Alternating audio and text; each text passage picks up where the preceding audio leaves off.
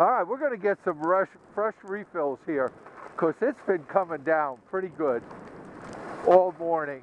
We had a little lull there for a while, but now it's back and it's definitely filled in some of the track here on the meadows.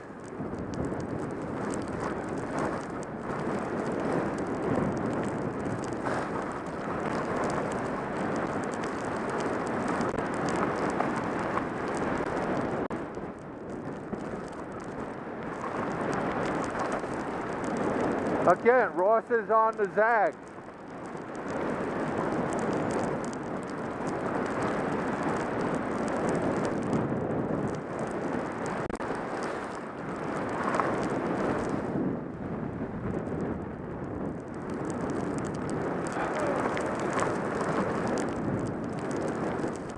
And there's two of us, and that guy's got to come between us.